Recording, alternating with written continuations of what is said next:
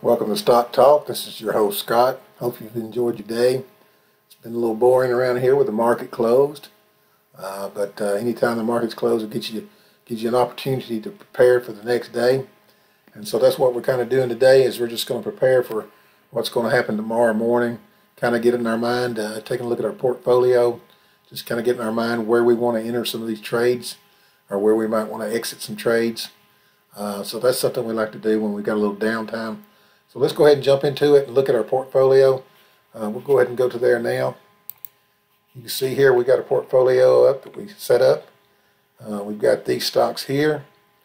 Uh, X, Peloton, Novavax, MPC, EXAS, Cliff, and ACB. So those are those are the ones we have on our list, our watch list, I like call it. Um, Peloton's really the only one that we're holding in this portfolio. Uh, I do have some X that I have in a cash account in one, in my own IRA. Uh, Novavax I'm holding in my IRAs. Uh, but that's it. Those are the ones we're really holding. The only only one in this that we've really done here is uh, Peloton. So kind of holding on to that one for a little bit. We'll talk about that in just a second. Let's start out with X. Uh, X is uh, uh, something I will probably be cost averaging uh, because I've got some in these other accounts. I'll be cost averaging that probably next time my cost average will be um, it'll be around eight dollars. So um, the, the the stuff we bought in the cash account the other day, I think it's uh, I think it's down maybe three percent, three point seven two percent, something like that. So um, we're we're not going to cost average the cash account right now, uh, but if it hits eight, we'll probably we'll probably do that. Okay. Uh, Peloton, that's the one we are holding in this account. Uh, Peloton is uh, um, sitting at 27. I think we're in at 29, 12, somewhere around there. We're down about uh, 5% on that one.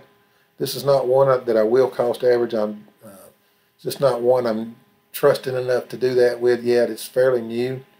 Uh, IPO'd, I think, last year, so uh, not something that we want to throw a whole lot of money at right now. Uh, but we sure would like to get out of it with a profit. So that's that's the one we're holding. It's down 5%. Now it moved 4% on a down day. It can move 5% on a good day. So we, we could be even pretty quick. So not really worried about it. Um, we'll just sit there and watch. It looks like there's some support around 27 for that one. Uh, so hopefully it doesn't go below that support level of 27. Uh, but we're gonna we're gonna just uh, hang on to that one for now. Novavax. Novavax is one that I that I have in, in the IRAs and everything. Um, uh, but we, we did sell out what we did have in this account uh, recently. Uh, now we would like to get back into this one, and I was looking at the charts earlier. Uh, it looks like to me get get back in probably around that 750 level, 740. I think we sold at 750 last time, so we may get back in at that level uh, because it did run a little bit from there uh, after we sold. So that may be a support level now. So if it is, we may jump on it at 750. We may buy a little bit at 750. But it could go, it looks like to me, either 750, 740 level may be the next level of support. So we'll watch that one. Uh, maybe we'll get some more of that into this account next week um, or tomorrow. Uh, MPC, MPC, we're not holding any of that right now. That's that's a good stock uh, one of my favorites um, that I that I trade and I've held. Uh, I held it uh, recently this past year for over a year, or close to a year, I think it was, and I think I sold right at around 68. Uh, but it's fallen a good bit since then. Um, but that's a good stop. Uh, I'm looking for a level of about 55, 57, somewhere like that. Um, 55 preferably. I mean, I think it would go, if it goes to 57, it's probably going to go to 55. So we'll we'll keep an eye on that one. It's a little ways off yet. Uh, that ex-dividend date, I think, uh, when was that? That's coming up on the 18th. So uh, that would be Monday. So uh, let's watch this thing close Monday because that is the ex-dividend date. That's the last day. If you want to get the dividend, you got to hold it to that day or past that day. So um, there there'll be some people probably uh, selling out tomorrow uh, since they had it that day. They're the owner that day, so for sure the next day. So we're gonna we'll keep an eye on that. Okay. Uh, EXAS. Let's go ahead and go back to that one. EXAS kind of out of my price range right now. Uh, it's it's it's had a pretty good run here lately. It's getting close to that $100 mark. Uh, I like it around 89, 90 level, uh, but this one's getting, just getting a little too high for me right now. So don't have to have a bad day for it to uh, to uh, getting back in my price range. So, but if it does, that's when we go. I mean, it's uh, 89, 80, 90 level. CLF. CLF. Let's see what it's doing here. CLF is um, getting close, getting close. I like it. I like that one around 710 $7 range. So we're getting close another day like it had the other day. And we may uh, may have something we can buy there. So uh, keep a close eye on that one tomorrow. CLF, Cleveland Cliffs. All right. So we're going to go and check the last one on our list is ACB. And we'll pull that up real quick here. Uh, that's the one we just sold Friday um, at this price right here at 158 I think it was. So uh, we'd have to have it, have it give every bit of that back before we could get back into it. So I'm thinking about 150, 150 level there. If I can get in that 150 range, I'll probably purchase it back. But uh, that was a good little quick profit that we made on that one Friday. I was thrilled about that. It's always good to get a quick one like that. So, but we're going to watch this one. It's probably going to get back in that range. Uh, if I had to guess, it'd probably be doing it pretty quick. Um, so that's what that's what we're going to be looking at when the market opens uh, tomorrow. Um, one thing uh, we want to think about: we've got a short week this week, so uh, we need to make some purchases tomorrow if possible. Um, my goal usually is to have a sale by Wednesday. Uh, so if we make a purchase tomorrow, it's going to be difficult to do that as quick as Wednesday.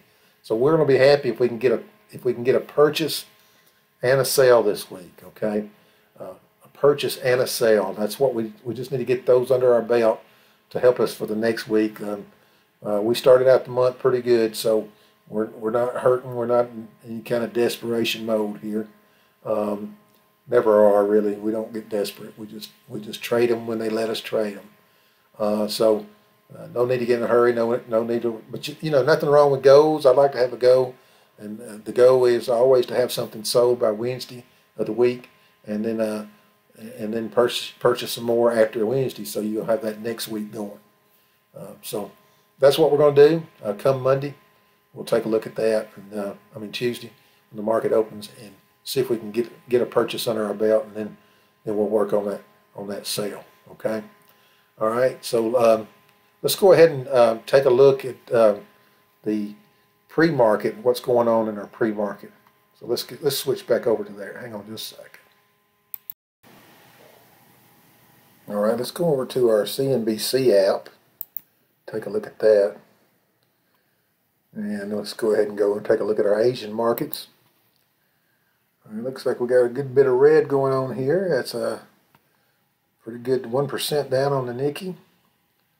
Uh, Shanghai, uh, kind of flat, more or less flat. And then we've got the Hong Kong's looking kind of about a percent, almost a percent red as well. So let's see, let's take a look at uh, what the oil looks like. Oil's pretty flat, uh, steady, says here. So uh, that's okay, no big deal there and pre-market. Let's go ahead and take a look at our pre-market for tomorrow. See a lot of red. Um, so right now, uh, it looks like the market may start out in the red tomorrow, but uh, as we said before, this thing changes, could be changed by the time we get to the morning time. So, uh, but right now, it looks like down a quarter of a percent on the Dow and the uh, S&P. NAS down about a half a percent. So, um, we're not going to worry about that, not going to get too upset about any of that. Uh, we know that that can change by morning time, so um, we're not going to get too concerned about it. Um, we will uh, focus on the market when it opens tomorrow. It's going to be, you know, after a three-day weekend, so may get a good bit of activity.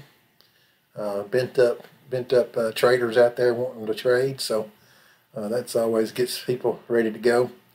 Uh, so we're going to watch our watch our portfolio, uh, those prices that we were talking about, and those those entry points. If we get some opportunities, sure do want to try to get that purchase sometime tomorrow uh, before close of business if we can.